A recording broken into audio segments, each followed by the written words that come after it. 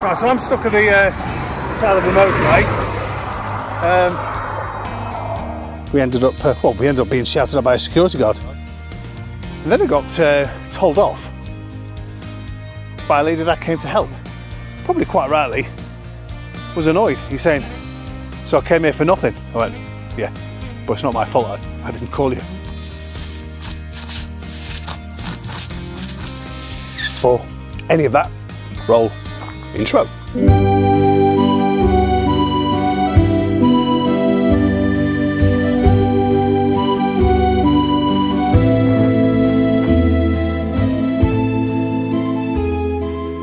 Morning chickens. Right, it's a nice day today. No sprecky. Right, come on. Haven't got much today, we're gonna have to go and get you some. Right, so I'm just gonna just gonna empty it. Enjoy. I've run out of chicken food. It's a sentence a couple of years ago I never thought I'd, I'd ever say. Good morning. From the very northern tip of the southwest of France, Department 16, Charente. It's going to be a lovely day today. In terms of weather, I don't know whether it's going to be lovely in terms of um, French bureaucracy. Bureaucracy. Easy for me to say. Yeah, so it's about half seven in the morning. Probably explains why my face is all puffy. I've just got out of bed. Yeah, we need to get uh, over to Angoulême. And, uh, oh, I'm being distracted by the lunatic dog. Uh, need to get over to Angoulême. Need to go to the prefecture's office about getting Lisa's carte de séjour extended. Then we need to go to the CPAM office um, to sort out um, the carte vitale. Now, in anticipation for them saying, no idea what you're talking about, I've done another application. This is the third application that I've done, so it's on standby. We'll just hand it to her. Anyway, the kids are having their breakfast. I haven't had my morning coffee yet. I'm a little bit grumpy. So whatever's next, let's do that.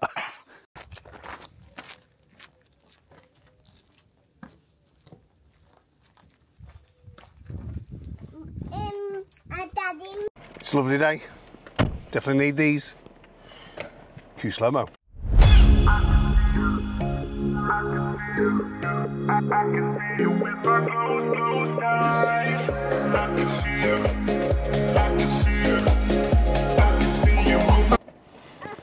C'est parti.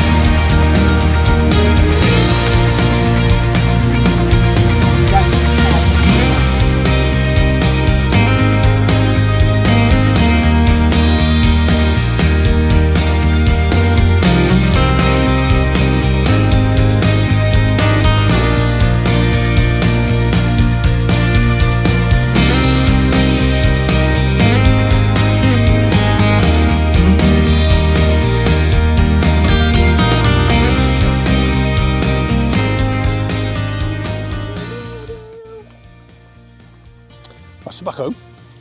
Um, we just spent half a day waiting. So we got to the prefecture nice and early. It was already rammed. We got number 38. When we got there, I think they were still at uh, 15. But uh, yeah, we we went and saw the woman. She checked uh, Lisa's carte de séjour application. Said, yeah, you'll get an update in a few weeks. We asked for an extension. She went, you don't need it.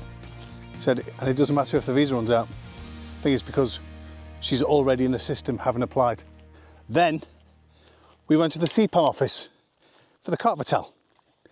And uh, we ended up, uh, well, we ended up being shouted at by a security guard um, who wanted to uh, search Lisa's bag, but pointed to like a machine. anyway, um, he did what us English do when we're on holiday in Spain and the Spanish don't understand us. You just shouted. Just shouted sack. So we went, okay, it's the bag. And then we got in there. We had to wait about another hour. And uh, we found out that they've, that they've got Lisa's application. Uh, they were just missing a couple of bits of documents, a couple of documents um, to do with the validation of the visa. And so um, they've now uploaded that to Lisa's file and uh, she should hear, well, she should get a temporary number next week. So yeah, today was a massive pain in the arse, but it's done now. And uh, yeah, it's done. I'm going to go on my bike. I'm to get myself one of those intercoms. Um, only because I know a couple of riders now that I can, that I can go out with. We talk to each other. And if not, uh, I can uh, I can listen to music or more importantly, listen to Google Maps tell me that I need to turn left or right. I'll see you tomorrow. Right, so I'm stuck at the uh, side of the motorway. Um, got a flat tyre. So uh, Darren Wardle, who I uh, who we met through YouTube, going to come out and give us a hand. How great's that? Right, I'm going to turn this off. This off. I don't know what I've done wrong. Thought Karma had caught up with me. yeah, that was a uh, that was a close call. I've only been riding um, big bikes. You can hear one in the background. It's not big. Um, for three years now, and so uh, I've I'd never had a blowout before. But uh, there it was. I'd uh, I bought the intercom system for the bike.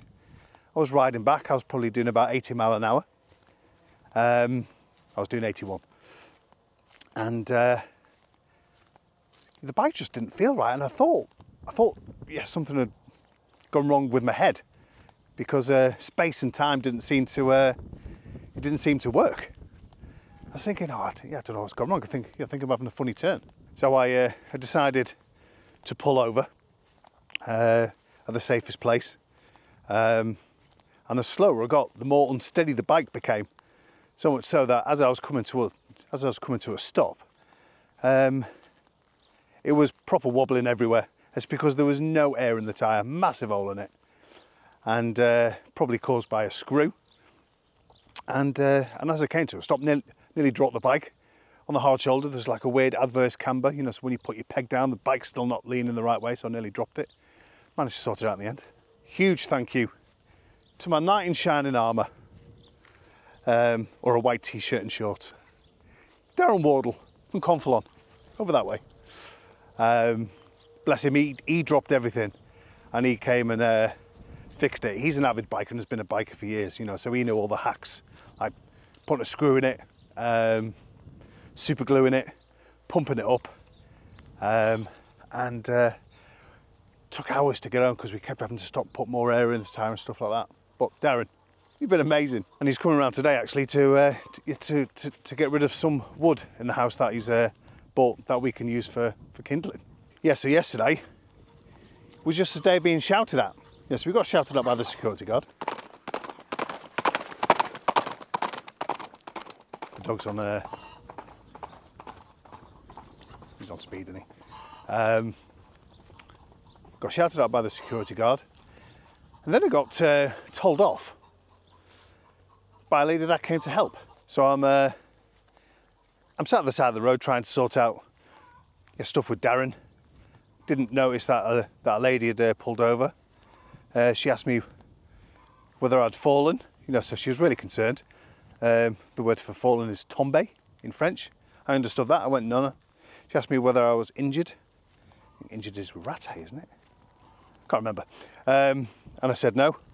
And then her attitude changed because she asked me whether I'd um, phone the police. I went, no. And she went, we have to. It's obligatory. I went, okay. I said, je n'ai plus de français dans ma tête. I said, I have no more French in my head. Uh, so she huffed and puffed a bit. Uh, and then she phoned the police on my behalf, not realising that in doing so, they'd sent uh, a recovery truck, uh, which is an amazing service actually by the French. You know, you, you know, you break down on the side of the road, you phone the police, one seven, and um, and they arranged for a recovery vehicle to come out.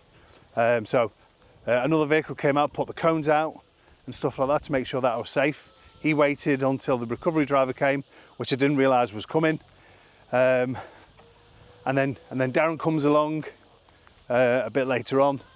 Uh, but I'd managed to tell the recovery driver that my friend was coming uh, and we were going to repair at the side of the road. And he, probably quite rightly, was annoyed. He's saying, I had to Google Translate it. He said, uh, So I came here for nothing. I went, Yeah, but it's not my fault. I, I didn't call you. Apparently, and I may have got this wrong, um, you're allowed to fix or repair your vehicle, being followed by chickens, um, for 30 minutes at the roadside before you need to call the police. I think that's I think that's how it works.